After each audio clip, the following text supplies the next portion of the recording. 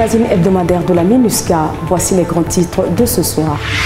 Obed Namsio, ministre d'État, directeur de cabinet à la présidence de la République, a officiellement lancé les travaux d'évaluation nationale de suivi de la base de référence en matière de gestion des armes et de munitions en partenariat avec la MINUSCA et l'Institut des Nations Unies pour la recherche sur le désarmement.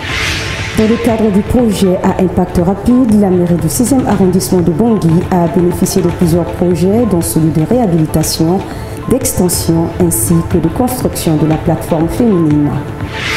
Le ministère de la Justice, de la promotion des droits humains et de la bonne gouvernance a organisé avec l'appui de la MINUSCA l'exercice de simulation en cas d'une mutinerie ou d'un incendie au sein des maisons carcérales permettant de prévenir d'éventuelles violences et émeutes et aussi de coordonner les interventions des différentes forces.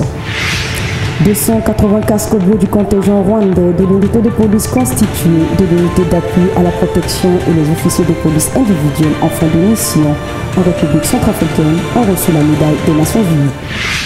Bonsoir. La circulation illicite des armes à feu pose de sérieux problèmes à la stabilité socio-économique et politique de la République centrafricaine. C'est dans cette optique qu'un séminaire s'est tenu à Bangui afin d'examiner la gestion sûre et sécurisée des stocks d'armes et de munitions. Cette évaluation a pour objectif d'enrichir et de renforcer la politique nationale et les bonnes pratiques en matière de gestion des armes et de munitions. Elle constitue un soutien à la bonne gouvernance et au principe de responsabilité. Plus de détails avec Constantin Moutendi et Serge Koswati. La cérémonie du lancement officiel de l'évaluation nationale du suivi de la base de référence en matière de la gestion des armes et des munitions en République centrafricaine a eu lieu le 5 avril à l'hôtel Ledger Plaza. Elle vise à soutenir les efforts des autorités centrafricaines dans l'établissement d'un cadre national régissant la gestion des armes et munitions GAM en adéquation avec les normes, instruments et standards internationaux et régionaux pertinents en la matière les flux d'armes et de munitions illicites qui échappent à la réglementation et au contrôle approprié représentent des entraves et des risques à la stabilité, la paix et la sécurité en Centrafrique. Ces flux constituent également un facteur qui exacerbe la violence armée et celle basée sur le genre, les violations des droits de l'homme et alimente de manière insidieuse la criminalité organisée. La cérémonie d'ouverture a été présidée par le ministre d'État, directeur de cabinet à la présidence de la République centrafricaine, Obed Namsio, en présence de la représentante spéciale adjointe du secrétaire général des Nations Unies en République centrafricaine, Lisbeth Kouliti, du ministre de la Défense nationale, Claude Ramobiro, du ministre des Affaires étrangères de la francophonie et des centrafricains de l'étranger, Sylvie Baipotémon, et du président de la Commission nationale de la lutte contre la prolifération des armes légères et de petit calibre, Benjamin Saragaza.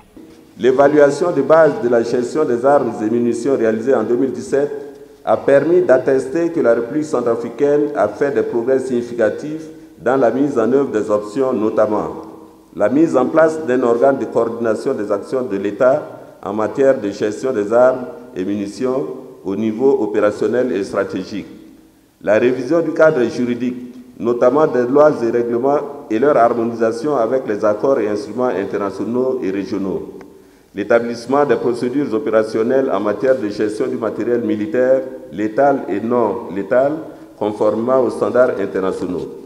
Durant quatre jours, plusieurs présentations ont été faites, entre autres l'examen des priorités, des besoins, des vulnérabilités et des défis dans la gestion des armes et des munitions, la gestion sûre et sécurisée des stocks d'armes et munitions, le marquage des armes, la tenue de registres et conservation des informations et des données, le profilage et traçage des armes et des munitions et le traitement des armes et des munitions récupérées de la sphère illicite et illégale.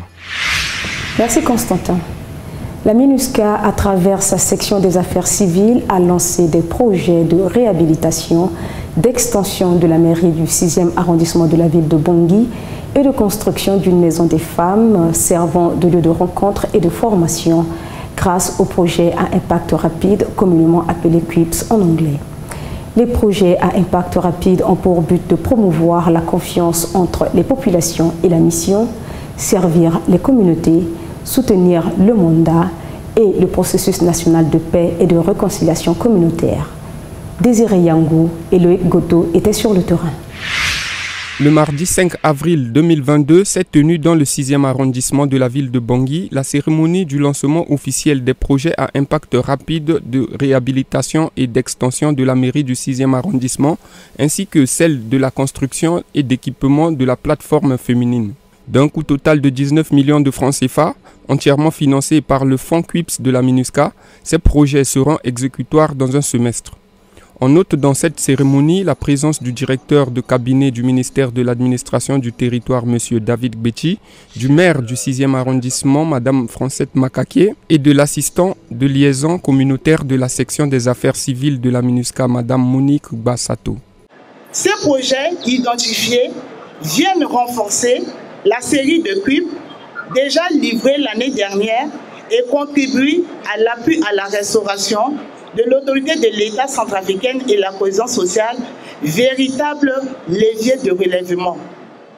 La MINUSCA entend maintenir et intensifier ses initiatives, preuve de son engagement et de sa détermination à accompagner les autorités et le peuple centrafricain sur le long chemin de l'avènement d'une paix et développement durable et inclusif en Centrafrique. Ces travaux seront réalisés dans le cadre de la restauration de l'autorité de l'État, le développement de la collectivité territoriale en République centrafricaine et le renforcement des capacités des femmes à développer les activités génératrices de revenus.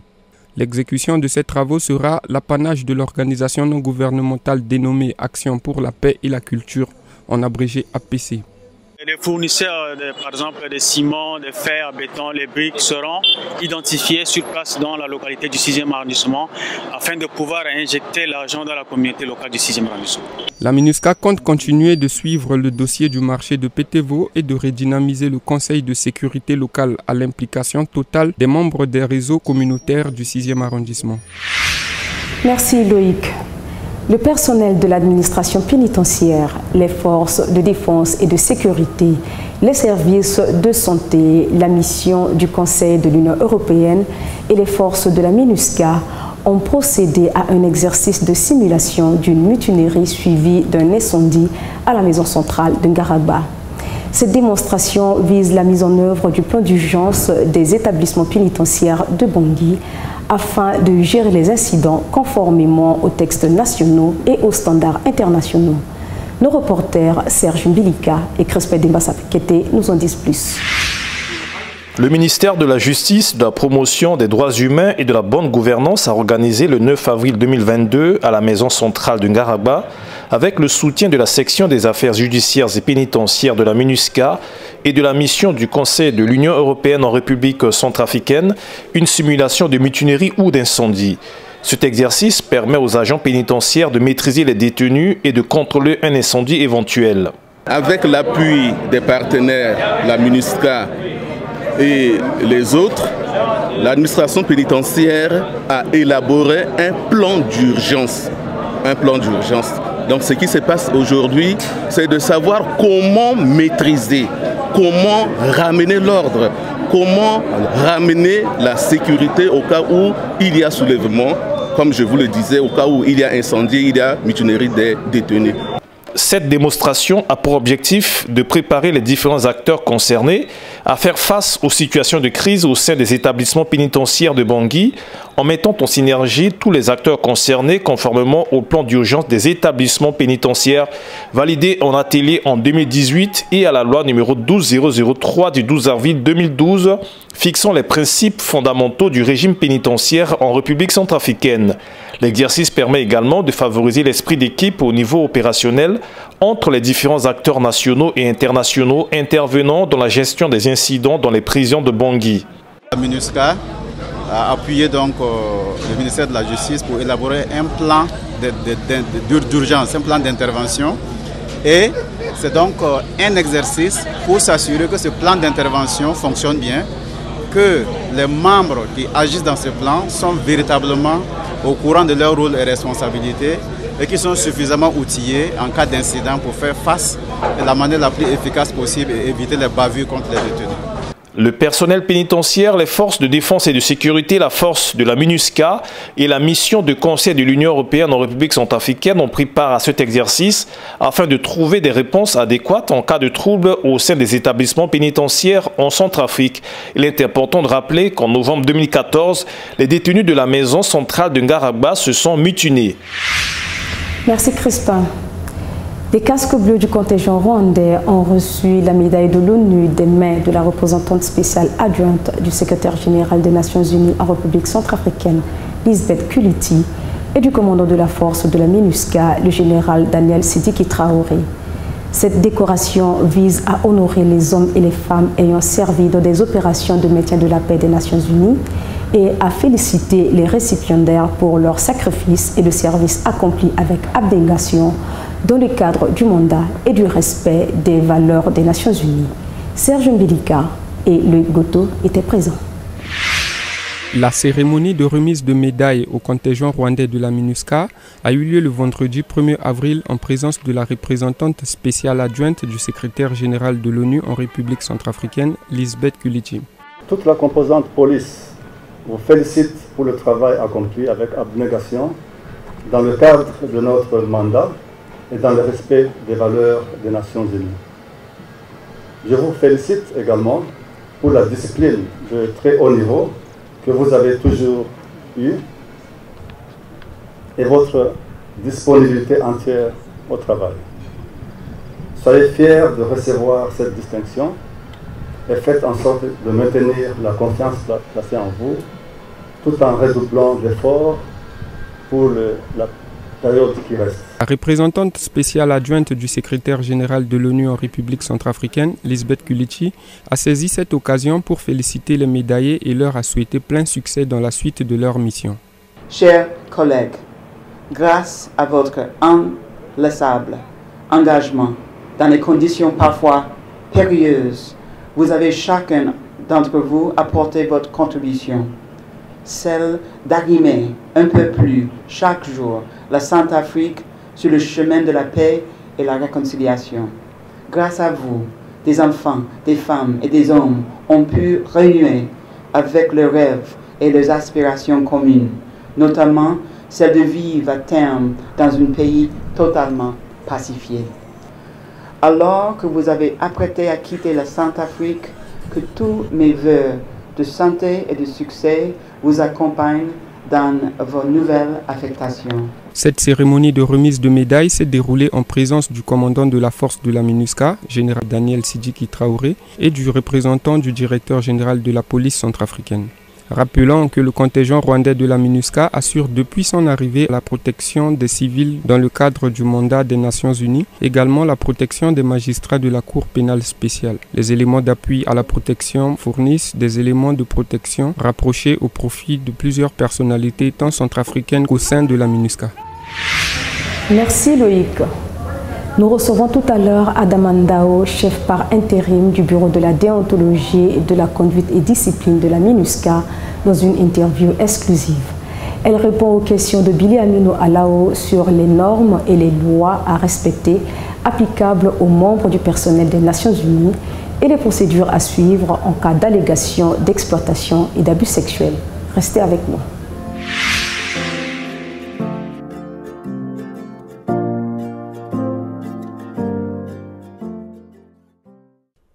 Population centrafricaine, le coronavirus est une réalité. Pour empêcher sa propagation, observez et respectez les mesures barrières. Lavez-vous fréquemment les mains avec de l'eau et du savon ou avec une solution hydroalcoolique? Évitez les embrassades et accolades, évitez de vous serrer les mains. Toussez ou éternez dans le pli de votre coude ou dans un mouchoir jetable. Jetez-le dans la poubelle et lavez-vous immédiatement les mains. Évitez de vous toucher les yeux, le nez ou la bouche. Respectez l'écart d'un mètre de distance sociale. Si vous avez de la fièvre, vous toussez, vous avez un écoulement nasal ou sentez une gêne respiratoire, restez chez vous et contactez sans délai une structure de santé. Nous sommes de retour et merci d'être restés avec nous. Sans plus tarder, nous rejoignons Billy Amino Alao qui s'est entretenu avec Madame Adamandao. Madame Adamandao, bonjour. Bonjour. Vous êtes euh, la chef du bureau de déontologie et de discipline de la MINUSCA. dites-nous, que signifie ce nom, Bureau de déontologie et de discipline? Et quel est le rôle de cette entité au sein de la MINUSCA? Merci. Le Bureau de conduite de déontologie et de discipline s'occupe de la mise en œuvre des normes de conduite de l'ensemble du personnel de la mission civile militaire, internationaux ou nationaux, qui sont déployés en République centrafricaine dans le cadre de l'exécution du mandat de cette mission. À ce titre, je suis le conseiller spécial du représentant spécial du secrétaire général des Nations Unies en matière disciplinaire ici en République centrafricaine. Également, euh, mon bureau assure le conseil, l'accompagnement de l'ensemble des principaux, le force commandeur, les, euh, le police commissionnaire, pour qu'ils puissent effectivement s'acquitter de leurs obligations en ce qui concerne le respect de la discipline du personnel qui est déployé sous leur autorité. Également, nous assurons le suivi, l'accompagnement des personnels qui sont déployés. On leur donne des conseils, on les accompagne durant toute leur durée de déploiement ici à travers des mécanismes de prévention, mais également on s'occupe de la gestion de l'ensemble des cas lorsque ça arrive pour qu'on puisse assurer l'information à travers la coordination, à travers la liaison, mais également à travers le suivi avec le siège qui gère la base de données de l'ensemble des fautes, mais également des violations aux normes de conduite qui sont répertoriées aussi bien ici dans cette mission que dans l'ensemble des autres missions. Nous assurons le suivi. Mais également, nous nous assurons et nous travaillons avec les autres structures pour que les enquêtes soient menées, mais également nous assurons la liaison pour que toutes les personnes qui seront victimisées par la faute de personnel d'Imla MINUSCA, que ces personnes puissent être accompagnées et assurées en coordination avec la Senior Victim Right Advocate, que ces personnes-là, l'assistance qui leur est due est effectivement effective. Et que fait ce bureau et comment est-ce qu'il communique avec euh, les populations centrafricaines? Alors, ce bureau a une stratégie, une stratégie qui se déroule en trois points. La prévention, le traitement et la réponse aux fautes professionnelles et aux violations aux normes de conduite. À ce titre, nous assurons une ouverture à toute la population. La population est invitée à rapporter et à signaler toutes sortes de, de violation ou bien toute faute professionnelle ou non, aussi bien dans la vie professionnelle que dans la vie privée qui arrive et qu'on puisse être au courant. Là, on s'ouvre à cette population, on les informe et on leur demande de nous rapporter parce que lorsqu'on ne sait pas, on ne peut pas répondre. Mais lorsqu'on a l'information, on peut répondre. On a une ligne verte qui est à la disposition des populations, c'est la ligne 4044 qui est ouverte qui est disponible, mais également nous sommes là.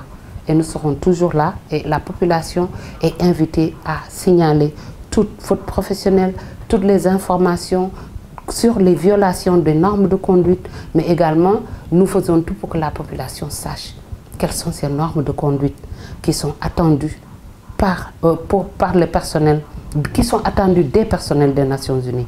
Parce que souvent, ce ne sont pas des violations criminelles. Ça peut être juste en relation avec notre règlement intérieur, mais qui n'est pas toujours forcément une faute ou bien un crime ou un délit ou une contravention au niveau du pays. Et comment protégez-vous la confidentialité d'une présumée victime ou d'une personne qui vient rapporter une allégation? Toute personne, victime ou témoin, qui vient porter plainte ou se présenter ou amener faire un signalement en ce qui concerne en particulier aussi bien les actes d'abus ou exploitation sexuelle, cette personne, sa situation va être évaluée. Lorsqu'elle est évaluée, on va voir si la personne nécessite une mesure de protection.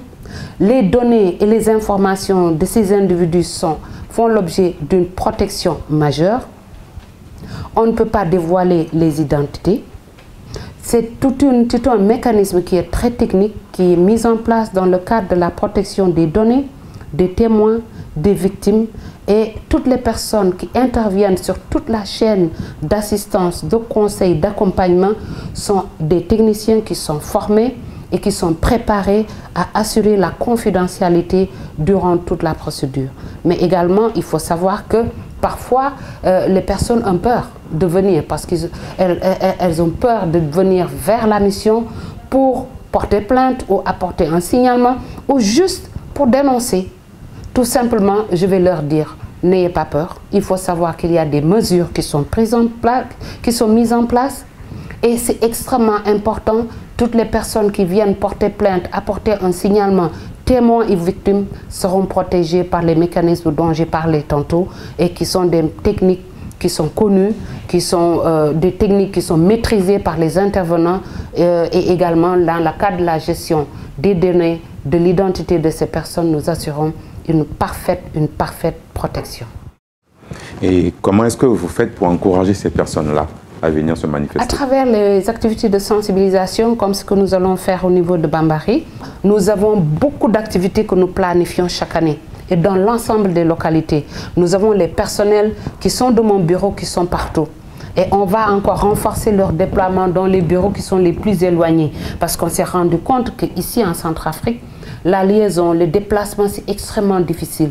Récemment, j'ai fait une route de 100 km et sur 100 km, on a fait 8h45 minutes de route en voiture.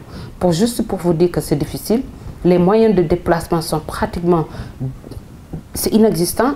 Donc, il faudrait qu'on puisse aller vers les endroits où le risque est élevé, où nous avons une présence pour que les populations puissent venir à nous, que nous soyons accessibles à la population et que les populations puissent nous apporter les signalements et qu'on puisse nous-mêmes également pouvoir évaluer les situations et prendre toutes les dispositions qui sont nécessaires pour prévenir euh, qu'il y ait des difficultés pour les populations. En parlant signalement, pourquoi est-ce que le personnel en uniforme est souvent impliqué dans des cas d'allégation? Le personnel en uniforme est visible, mais ils sont nombreux. Les autres personnels constituent moins de 1% de personnel en uniforme. Donc, on a l'impression que c'est seulement les personnels en uniforme qui sont impliqués dans des cas d'abus ou d'exploitation sexuelle, mais je vous assure qu'il y a également des personnels civils nationaux et internationaux qui sont impliqués dans des actes d'abus et d'exploitation sexuelle. Permettez-moi de rappeler, quand je parle avec mes collègues nationaux, nous sommes dans notre pays, mais il faudrait savoir que même si nous sommes là, nous sommes fonctionnaires des Nations Unies, on doit suivre les normes de conduite qui sont attendues de personnel des Nations Unies. Ce n'est pas parce que je suis chez moi que je vais me permettre d'épouser ou bien d'abuser d'une fille qui a 14 ans, 13 ans. Même si au niveau de la culture et la coutume, ça peut être acceptable, quand on est fonctionnaire des Nations Unies, ce n'est pas acceptable. Nous observons une baisse des incidents euh, relatif au, cas d'abus et d'exploitation sexuelle au cours des deux dernières années. Qu'est-ce qui a été fait pour ça? Parce qu'on a beaucoup travaillé. La mission s'est beaucoup investie dans le cadre de la prévention et de la protection des personnels contre les normes, les violations des normes de conduite et en particulier contre les abus d'exploitation sexuelle.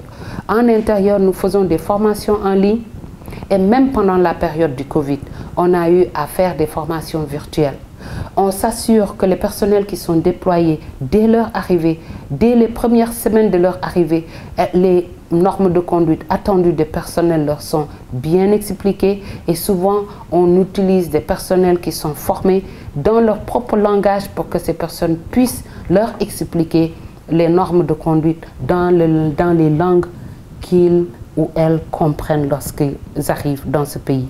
Ça, ce sont des efforts que nous faisons, mais également, il y a le leadership de la mission qui est extrêmement engagé. Il fait ce qu'on appelle des réunions avec l'ensemble du personnel. Et pour ces réunions, il rappelle, il, on dit que le rappel est pédagogique. Il rappelle et il insiste sur les normes de conduite. Le force commandeur, il fait la même chose. Le police commissionnaire fait la même, même chose. Les chefs de section, les managers et à tous les niveaux, tout le monde est impliqué pour que Nul n'en ignore que les personnels soient sensibilisés, mais également, je voulais expliquer, nous travaillons également avec la population pour leur expliquer nos normes de conduite, pour mitiger les risques, pour qu'il y ait quand même des relations qui seront euh, vraiment euh, regrettables des deux côtés. Les Nations, Unies ont une politique de tolérance zéro. Qu'est-ce que cela, cela veut dire Tout signalement, toute faute doit être signalée, tout signalement doit être évalué et traité et une réponse donnée à la personne qui a été victimisée. Un accompagnement obligatoire sera effectué. Ça, c'est la politique de tolérance zéro. Il n'y aura pas un cas qui ne fera pas l'objet d'une enquête, d'une évaluation. C'est ça la politique de tolérance zéro. Et lorsque c'est confirmé, les sanctions vont tomber, que ce soit pour les personnels civils, mais également pour les personnels des autres pays. Les pays ont un engagement avec l'organisation et à travers son engagement et les accords au niveau du siège, des décisions sont prises et ils ont pris l'engagement de sanctionner lorsque le cas euh, se passe. Vous parlez des personnels en, uniforme. Exactement. Alors, qu'est-ce qui est fait par la MINUSCA pour euh, prévenir les cas d'abus et d'exploitation sexuelle? Alors, la MINUSCA fait beaucoup de choses. On a fait beaucoup de choses. Je vous ai dit tantôt les formations qui sont effectuées. Je vous ai parlé également de l'implication du leadership, mais également je vous ai impliqué, parlé de toutes les actions, des activités de sensibilisation que nous menons.